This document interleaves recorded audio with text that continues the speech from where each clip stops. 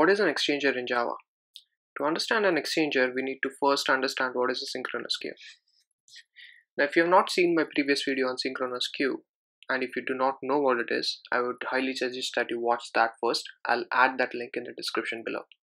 If you already know what it is, then let's just recap it. Syn synchronous queue is nothing but a blocking queue of size 1. So it has space for a single element and there is a producer thread which can put that single element and a consumer thread which can get that particular element. To be even more specific, since the producer thread requires the consumer thread to be available at that particular point in time and vice versa, it means that producer thread can directly give that item to the consumer thread without even storing it in a synchronous queue. And that is why synchronous queue is in fact not even a queue of size 1. It does not have a size because there is a direct handoff between a producer thread and a consumer thread. And an exchanger is the same as synchronous queue, but in this case, like there is an item going from producer thread to consumer thread, and vice versa, there is also another item going from consumer thread to producer thread, right? So the handoff in this case happens in both directions. So now we can no longer call those threads producer and consumer thread because they are not just producing or consuming, they are doing both the operations, right?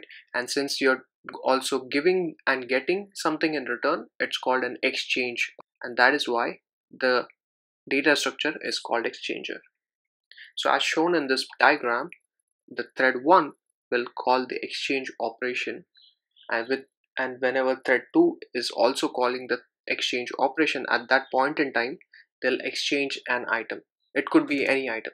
And similar to synchronous queue and a blocking queue, if there is a thread 2 which wants to exchange the item B with something else and it calls an exchange, and if there is no thread 1 which is ready for that exchange, then this thread will be blocked. As soon as you have a thread 1 available to make that exchange, and let's say thread 1 has an item A to exchange with, then the thread 2 will become unblocked and they will exchange their items. So now the item A has moved from thread 1 to thread 2 while the item B has moved from thread 2 to thread 1.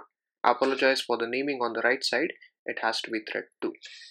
It works vice versa for the blocking. So if there is a thread 1 which is trying to do perform the exchange and there is no one available for that exchange, it again does block. And whenever there is a thread 2 available at that particular point in time, they'll make the exchange and they'll proceed with their subsequent operations. Right?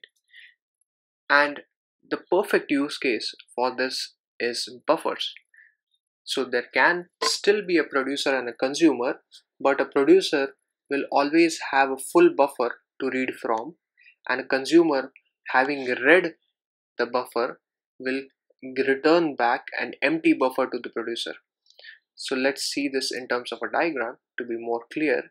So there on the left hand side we have a producer thread which has a full buffer. So it has some data which is ready to be read and we have a consumer thread on the right hand side which is an empty buffer because it's already read everything from the buffer and now that data structure it can be an array or something else that buffer is empty and at that point in time they can say exchange these buffers so now after this operation the consumer thread will have a full buffer and a producer thread will have an empty buffer.